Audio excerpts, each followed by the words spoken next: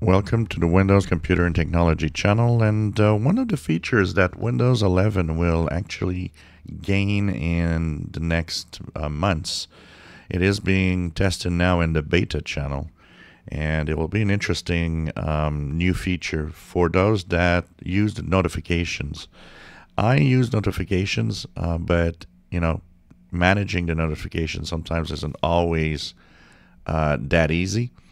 So uh, what I like about the notifications is that you know when you clean up the notifications, you of course um, will have only the ones you want. But now that feature, what's going to happen with it is that it's going to actually ask you, it's going to tell you, well, you don't interact with this notification or you haven't interacted in a long time. Do you wish to stop getting notifications from this app? And from this department or you know even if it's an email whatever that pops up there because you have it turned on as notifications.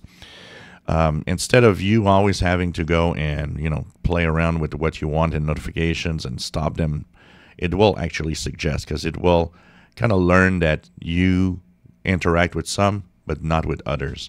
So after a certain time the others will always there's going to be a pop-up on the screen that's going to say you know you don't interact with this um, maybe we should turn it off because you don't seem to really want that. So that's going to probably be an interesting idea for cleaning up the notifications to make them better. Um, I like notifications because I like the fact that I have these pop-ups from time to time. But you know, like always, there's there are notifications that that get in there that you don't want. And as you play around with apps, add new apps, change things around, you know, you tend to have new notifications uh, all the time. So this is going to be certainly a, a nice cleanup feature.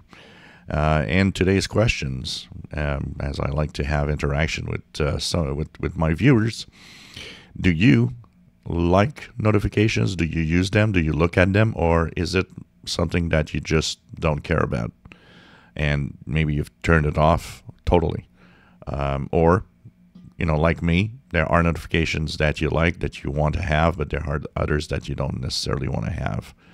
Um, kind of an interesting uh, little question here, uh, if you use notifications or not.